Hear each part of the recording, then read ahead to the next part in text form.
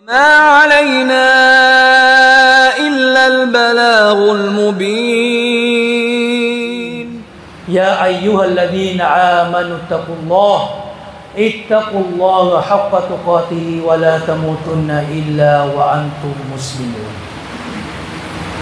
Pagkaraan ng ating pagpupuri, pasasalamat kay Allah subhanahu wa ta'ala at pagbibigay pugay sa ating propeta mahal na Rasulullah sallallahu alaihi wasallam. Una sa lahat, puriin natin, pasalamatan natin si Allah subhanahu wa ta'ala sa dakilang biyayang ito na ipinagkaloob sa atin ni Allah.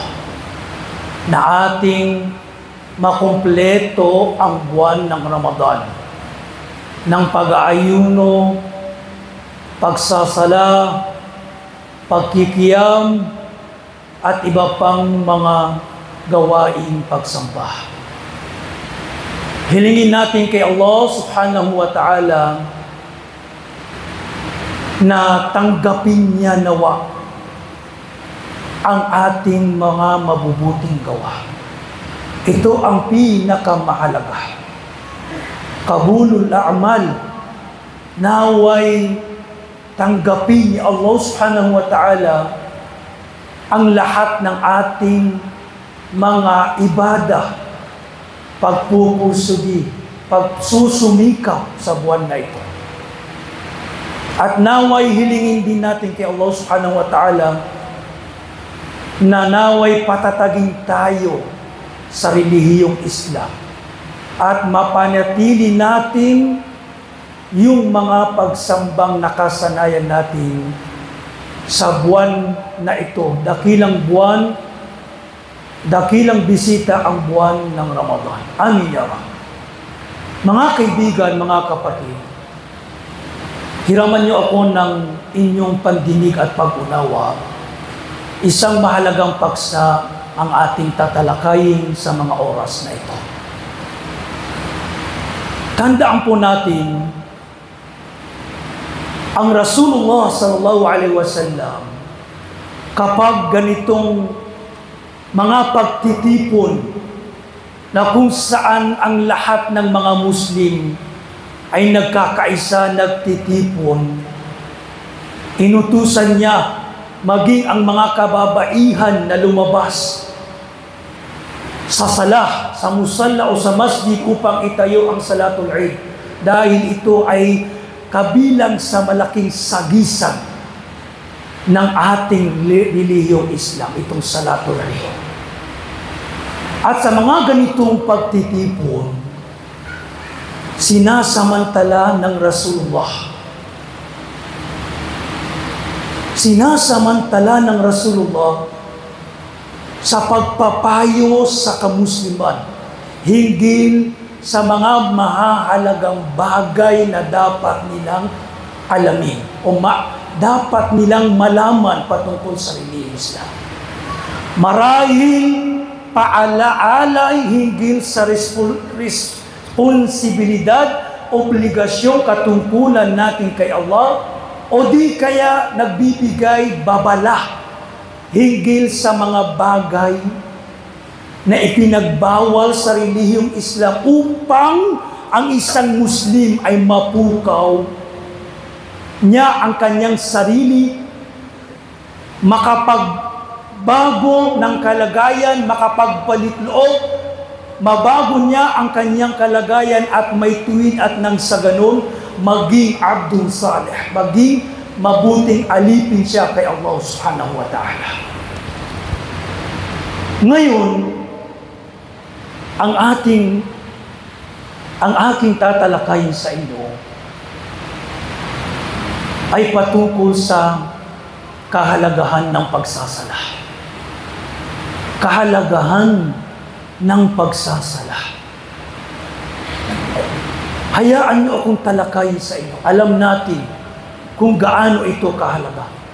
Subalit bilang paalaala lamang kung gaano kahalaga antas ng pagsasala Tinutukoy natin ang limang beses na pagsasalaw, ang Salatul Fajr, Salatul Zuhur, Salatul Asr, Salatul Maghrib, Salatul Isha.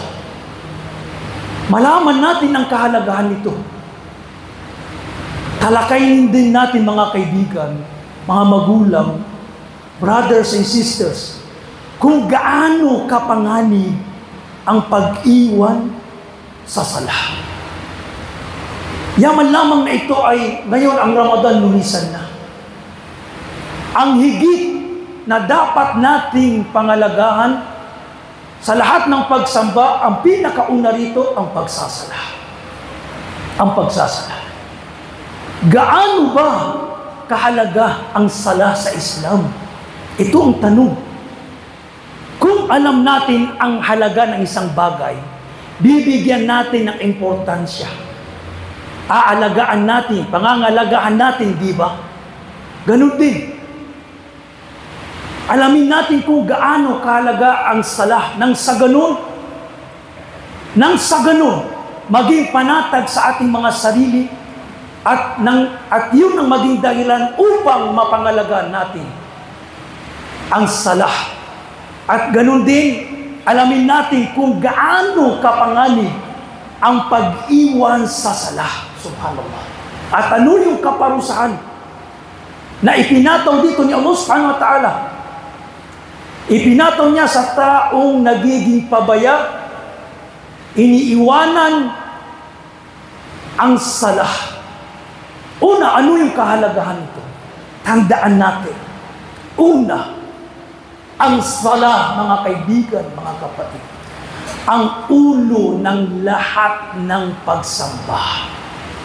Ang salah, ang ulo pundasyon o saligan ng lahat ng gawaing pagsamba. Physical, panglabas na gawain. Rasul amri al-Islam wa amuduhu as-salah. Sabi ng Rasul. Ang ulo ng lahat ng gagawin ng Islam, pagiging Muslim ng isang tao. Pagkaraan, sabi ng Rasulullah, ang saligang, pundasyon ito, haligi ito ay ang salah. Hindi magiging sa makatuwid, ibig sabihin, hindi magiging matuwid ang iyong pagiging Muslim kung iniiwanan mo ang salah. Si Ibn Mas'ud radiyallahu anhu, tinanong niya ang Rasulullah, nagmimithi ng kabutihan, tagumpay, kaligtasan, paraiso, Ya Rasulullah, ayul a'mal ilallah ahabu ila Allah o fima ma'na al-hadith. Ya Rasulullah, ano po ang higit na kamahal-mahal, kanais-nais na pagsamba, ibig higit na kanais-nais kamahal-mahal kay Allah subhanahu wa ta'ala. Ano itinan sinagot ng Rasulullah? As-salatu ala waqtiha ang pagsasala sa mga nakatakdang oras nito. Ganyang kahalaga. Pangalawa, nagpapakita kung gaano kahalaga ang sala. Ang sala, mga kaibigan, mga kapatid, ito yung kauna-unahang inubliga ni Allah subhanahu wa ta'ala na pagsamba sa lahat ng gawain pagsamba, ibada, ang unang-unang inubliga ni Allah ay ang pagsasala. At mismo si Allah subhanahu wa ta'ala ang nagpahayag, nag-obliga nito sa Rasulullah at hindi na dumaan kay Anghel Jibril. Ang ibang kautusan, kapahayagan wahi, katuruan kapag bumababa, dumadaan kay Jibril, na katulad ng ating pagkakaalam. Subalit ang pagsasala, mismo si Allah subhanahu wa ta'ala ang nagubligan, nagsabi nito kay Rasulullah. Kailan? Noong siya ay mag-mi'raj. Tumungo sa langit, nakaharap o nakausap niya si Allah subhanahu wa ta'ala at kabilang sa kapahayagan o kautusan ay inutos sa kanya ang pagsasala. Ganito kahalaga ang pagsasala mga kapatid, itinangin ni Allah. Itinangin ni Allah sa lahat ng pagsamba na siya mismo ang nagubliga o nagsabi, nagpahayag sa Rasulullah at hindi na dumaan sa aninman o sa ano pa mang anghel. Ganyan kadakila kahalaga ang pagsasala. Pangatlo, ang sala mga kaibigan, mga kapatid. Ang unang bibilangin unang lilitisin at bibilangin at titimbangin sa mga gawain ng isang alipin pagdating niya sa kabilang buhay. At sinabi ng Rasulullah, Inna awwala ma yuhasabu bihi al-abdu yawm al-qiyamati min amali as-salah. Fa in saluhat saluha sa'iru amali aw faqad faz wa aflah Wa in fasadat fasada sa'iru amali aw faqad khab wa khasir kama qala alaihi afdalus salawat al mustaslim.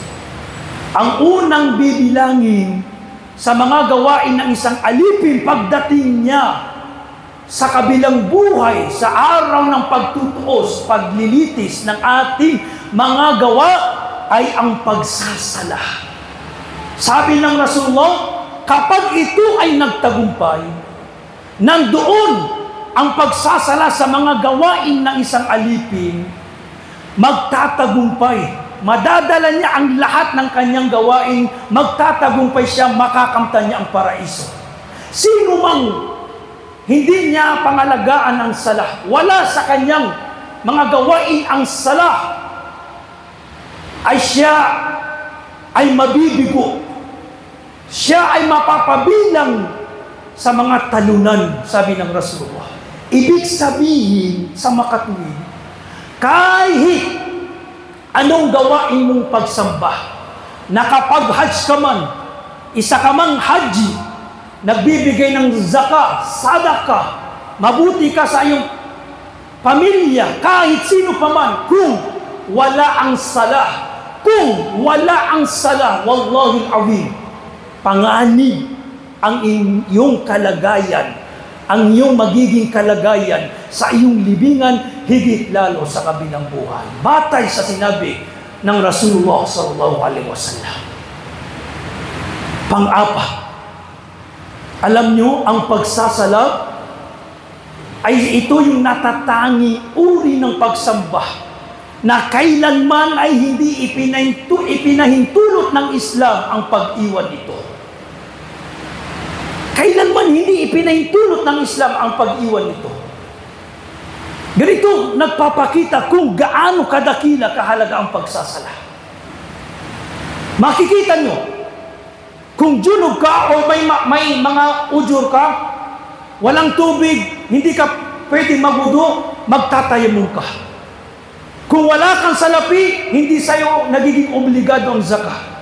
Kung wala kang salapi, sa ngayon, hindi mo hindi sa'yo obligado mag-hajj.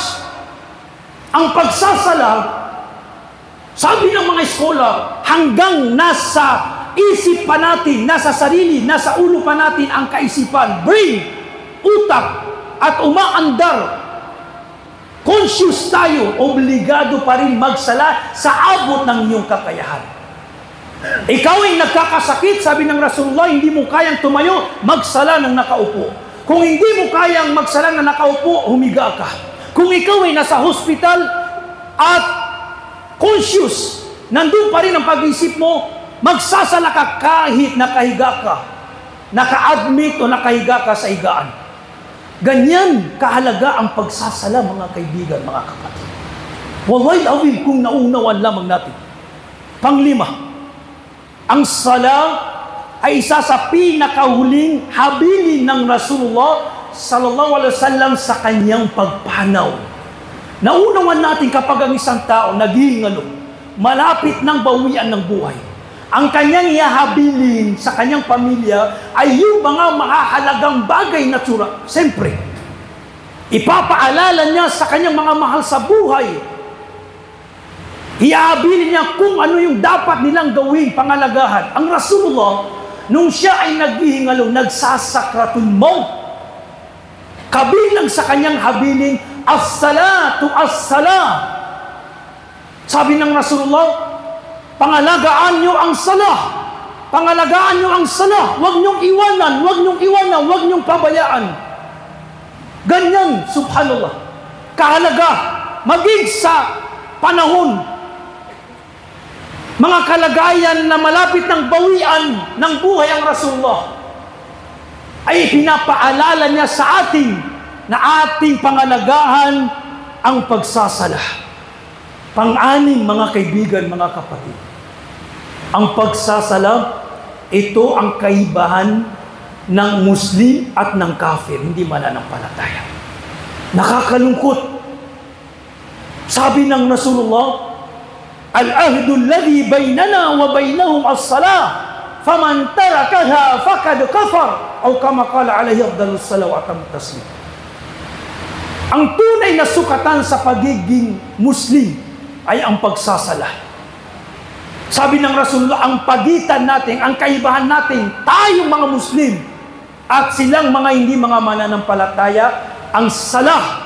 Sino mang iwan nito, sadyain iwanan, pabayaan, hindi magsala, siya ay nawalan ng pananampalataya. Panganib, mga kaibigan, mga kapatid.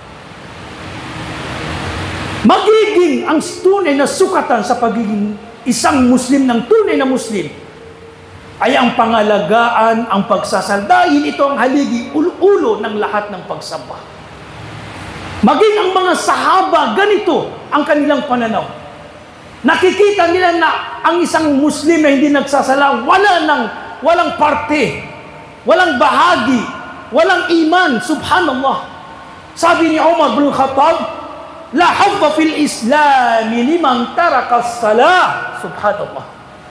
Walang parte ang isang tao sa Islam kung kanyang iniiwanan, sinasadyang pabayaan ng pagsasala. Nakatulad, subhanallah, ng kalagayan ng karamihan sa ating mga kapatid. Patawarin nawa sila ni Allah subhanahu wa ta'ala.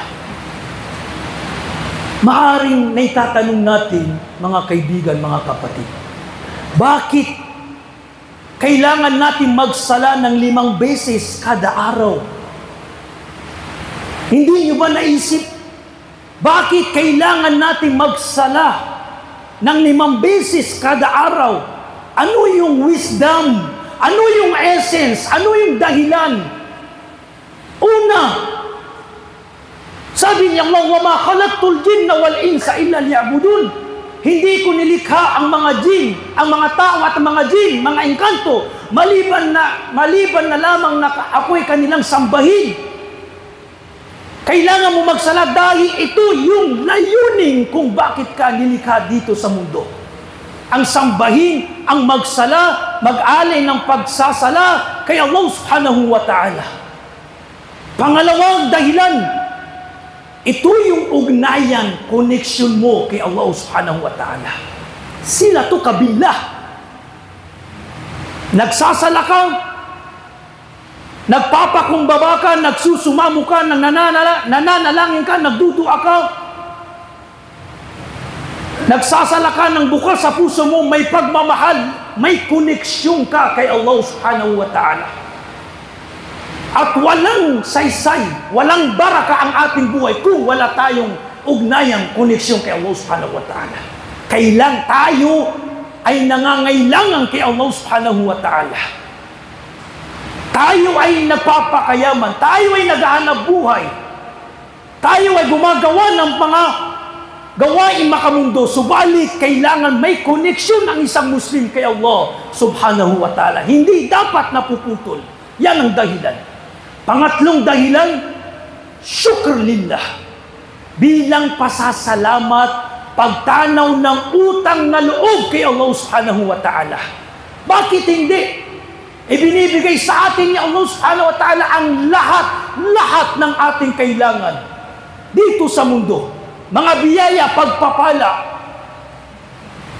Pagkaraan hindi tayo nagpapasalamat kay Allah subhanahu wa ta'ala, tayo ba ay magpapasalamat sa pamamagitan ng pagtulog? Sa, tayo ba ay magbas, magpapasalamat sa pamamagitan ng pagpapakayaman, pagpapakasarap sa mga biyaya, pagpapa, pagpapala ni Allah ng walang pagsasala? Saan yung pagtanaw ng utang ng loob kay Allah subhanahu wa ta'ala? At ang pagsasala ay nagpapakita ng pasasalamat at pagtanaw ng utang ng loob kay Allah subhanahu wa ta'ala. Nagsasala tayo mga kaibigan, mga kapatid. Ito pinakamahalaga. Dahil ikaw ay makasalanan. At itong pagsasala ginagawa natin kabayaran pandalis, pagdadalisay sa ating mga kasalanan. Kafara, takfiru saya. Nagsasala ka dahil ikaw ay nagkakasala. Kapag ikaw ay nagkakasala, binubura, pinapatawad sa iyo ni Allah subhanahu wa ta'ala ang mga mga kasalanan, mga masasamang iyong nagagawa. Ganito kainam ang pagsasala. Sabi ng Rasulullah sallallahu alaihi wasallam, nakita nyo, Tinalakay niya ang kahalagahan ng pagsasala, yung gantimpala na ating makakamit. Nakita niyo kung ang isa sa inyo, ang kanyang tirahan, sa labas nito ay may dumadaloy na ilog.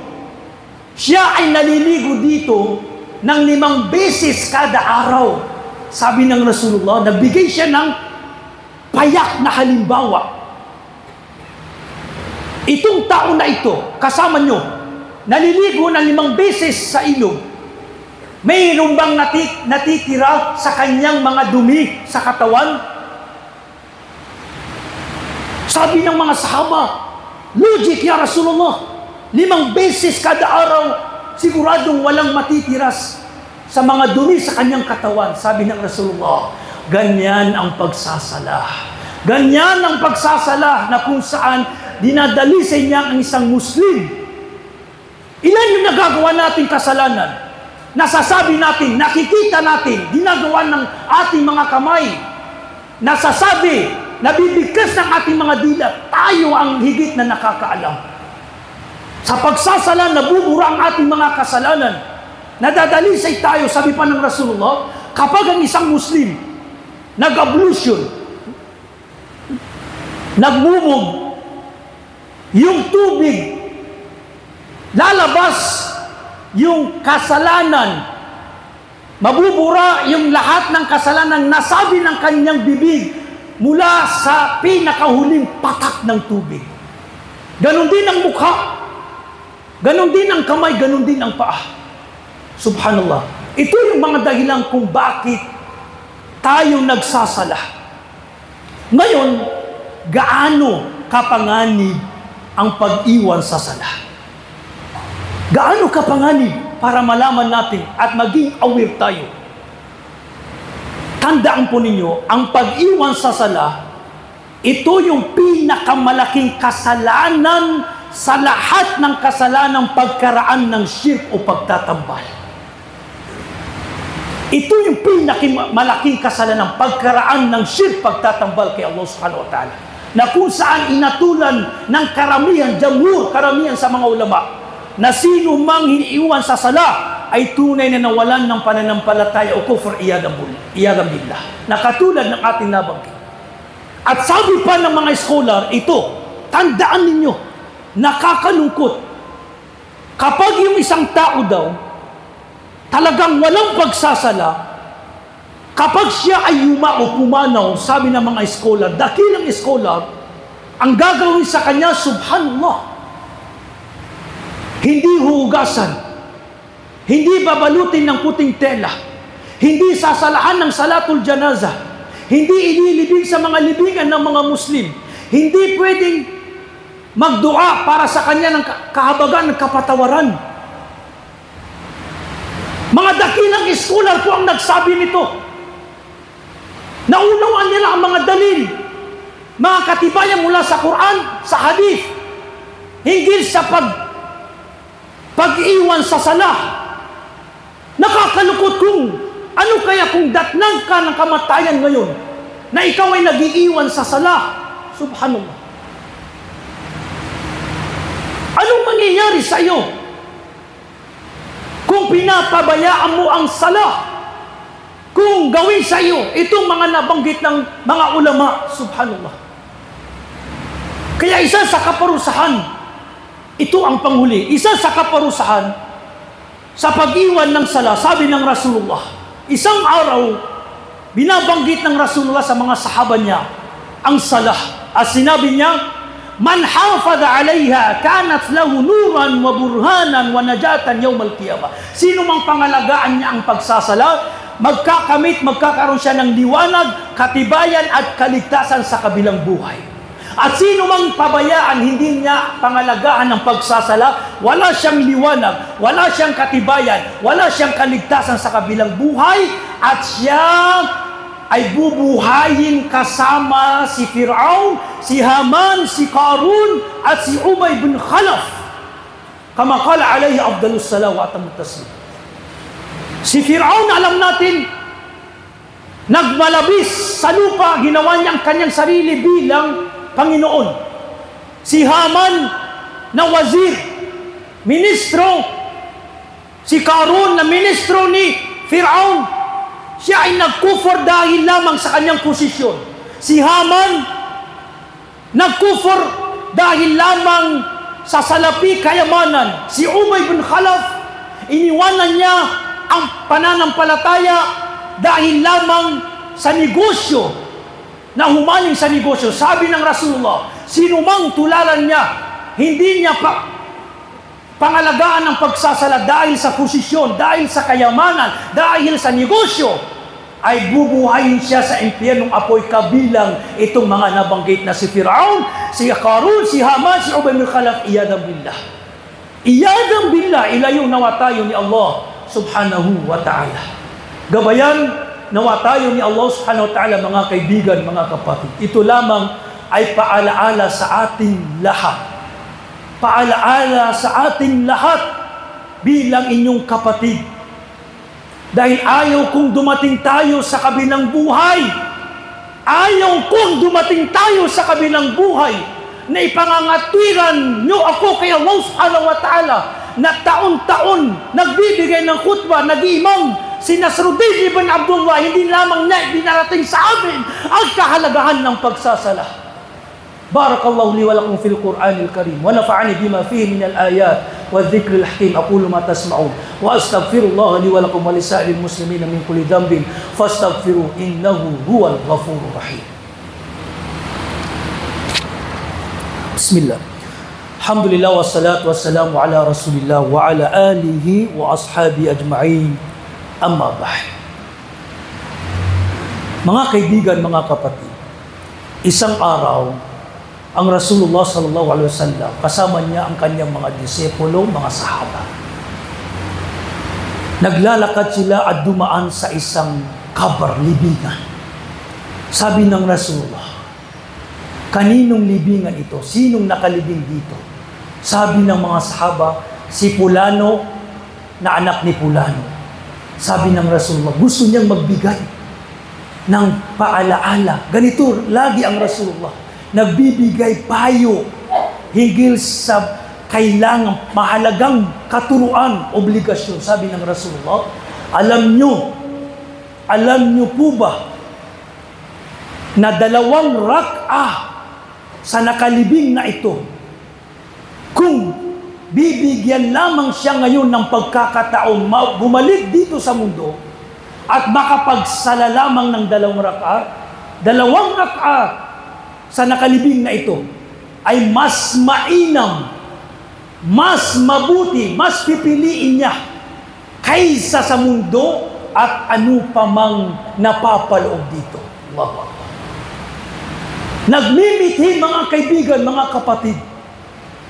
Ang mga kapatiran natin, mga Muslim, nasa libingan ngayon. Nagmimithi, nananalangin kay Allah subhanahu wa ta'ala, nagmimithi na kung bibigyan lamang sila ng pagkakataon na makabalik dito sa mundo at magsujud, magsala lamang ng makapagsala lamang ng dalawang rak'a. Kung bibigyan lamang sila ng pagkakataon, pero wala na. Dahil tapos na, nasiliwan na ang, ang kanilang mga buhay. Ang punto, nagmimiti ang mga tao sa libingan, na sila ay naway bigyan ng pagkakataon makapagsalaw. Ganito kahalaga ang sala, ang sala. tayo ngayon malakas, ilang sala ang ating pinabayaan, ilang sala ang ating iniwanan. Tanungin natin ang ating mga sarili, bawat isa. Tanungin natin ang isang sari, ang ating sarili. Tayo ang higit na nakakaalam kung ano yung katayuan natin at ang pagsasala. Subhanallah. Kaya sabi ng isang scholar, tandaan mo, sabi niya, na ikaw na umiiwan sa sala, malalaman at malalaman mo, mata, mapagtatanto mo ang kahalagahan ng sala sa unang gabi sa iyong libingan. Pagdating mo sa iyong libingan, doon mo na malalaman, mapagtatanto kung gaano kahalaga ang pagsasala. At doon na yung pagsisisi, subalit pagsisisi na hindi na makakapagdulot ng kabutihan ni Adam Billah. Kaya subhanallah, ito ang panghuli. Isang dakilang eskola. Sabi niya, baunin niyo ito. Pagmuni-munihan po natin ito. Sabi ng isang eskola, dalawang kalagayan ang higit na nakakalungkot at tunay na kapighatian. Dalawang kalagayan ang higit na nakakalungkot na kalagayan. Una, lalaki. Nasalahan lamang siya o di kaya puma na ipasok lang siya sa masjid o nakapasok lang siya sa masjid noong salahan siya ng salatul janaza at hindi alam ng imam na siya ay nagpapabaya sa salah. Nakakalungkot sabi niya na isang tao, lalaki, nakapasok lang sa masjid sa tanang buhay niya noong oras na ipasok sa masjid at salahan ng salatul janaza dahil maaring ang imam ay hindi niya alam ang tunay na kalagayan ng tao na ito. Pangalawang nakakalungkot na kalagayan, sabi niya, babae. Babae na nabalutan ng ganap na pagtakip sa kanyang aura noong lamang pumanaw bawian ng buhay, buhay at takpan ng puting tela. Kapan? Doon lang natakpan ng ganap ang kanyang buong katawan, iyadang billah. Mayroon ito. Tao na subhanallah maaring tanang buhay niya hindi nagsasala o di kay Jum, alamang o di kay Ramadan. Pangalawa, maraming mga kababayan, sisters natin, patawarin, gabayan, nawa sila ni Allah na nabalutan lamang ng ganap, kumpletong pagtakip sa kanyang katawan noong siya ay balutan ng puting tela at ililibing, subhanallah. Ito daw yung higit na nakakalungkot at higit na kapaghatian na matatamo ng isang alipin, subhanallah. Naway mga kaibigan, mga kapatid, nakapagbigay sa atin itong paksang ito, no? Ng paalaala na unawaan natin ang kahalagahan ng pagsasala kung gaano ito kaobliga na dapat natin pangalagaan at kung gaano kapanganib ang pag-iwan nito. Panghuli naway ang dua natin kay Allah subhanahu wa ta'ala. Ipagdua natin kay Allah subhanahu wa ta'ala na naway patatagin pa tayo sa relihiyong Islam. Naway patatagin tayo sa relihiyong Islam. Ipagdua natin, lagi natin pinagdudua. Allahumma thabbit qulubana ala dinik. Ya Allah, patatagin mo po kami sa iyong relihiyon. Gawin mong kanais-nais sa aming mga sarili, mga puso, ang pagsasala at iba pang mga gawain pag mabubuting gawa at gawin mo pong kanais ka, kamuhi-muhi sa aming mga puso ang paggawa نعم حرام عباد الله إن الله أمركم بأمر قد بدأ فيه بنفسه. فقال عز من قال إن الله وملائكته يصلون على النبي. يا أيها الذين آمنوا صلوا عليه وسلموا تسليما. اللهم